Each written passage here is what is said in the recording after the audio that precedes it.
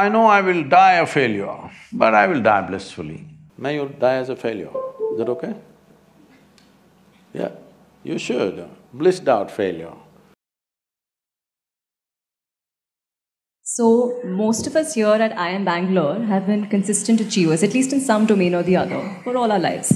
But some time at IIM Bangalore is good enough to make you feel that you are not good enough.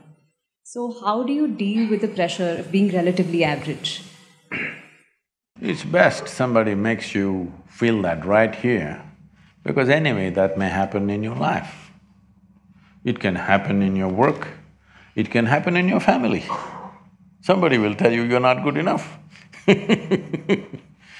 So whether they tell you or not, I want you to understand, none of us are ever really good enough. If you have a large-scale intention in the world, you are never really good enough. People keep telling me, Sadhguru, you've done so many things, this project, that project. I'll tell you my project. Because yes, day before yesterday I was at Chamundi Hill. This happened thirty-seven years ago. I went up Chamundi Hill and sat there. For no reason, I was overflowing with ecstasy, every cell in my body exploding. I didn't know what was happening. When I spoke to my closest friends, they said, Tell me, what did you drink? What did you pop? This is the only thing they could ask. When I asked my own skeptical mind, my mind said, maybe you're going off the rocker. But I knew I've hit a gold mine. Something fantastic is happening within me without any reason. If I simply sit like this, I become so ecstatic, what I think is two minutes have gone into seven, eight hours.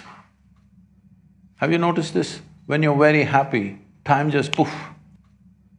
So if I close my eyes and open, it's like eight, ten hours are gone, like that. So at that time, I just planned, this is my plan. This is fantastic, if I simply sit here, I'm completely blissed out.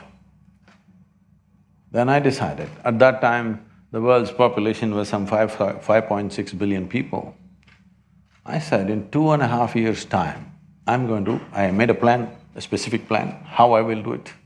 In two and a half years' time, I'm going to have the entire world blissed out because it doesn't take anything. If you simply sit here, it happens. Well, thirty-seven years Well, we might have touched uh, maybe on 500, 600 million people on the planet, but that's not my idea of the world. My idea of the world today seven point six billion people. So I know I will die a failure, hundred percent.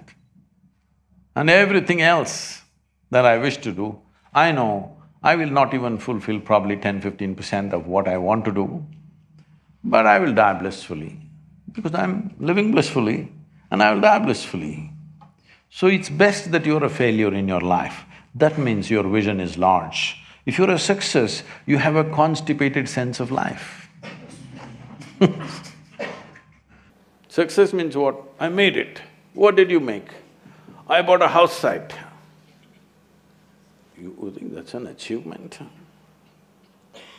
I got a job, I made this much money. This is a very constipated way of looking at life. I want young people to look at it in terms of how we can do something that cannot be done in this lifetime. Oh, what will happen if I don't fulfill it? If you… if you work incessantly and still at the end of your life the job is not done, it doesn't mean you're a failure, it means you had a great vision That's what it means. May you die as a failure, is that okay? Yeah, you should, blissed out failure, that means you're doing great, not a miserable success.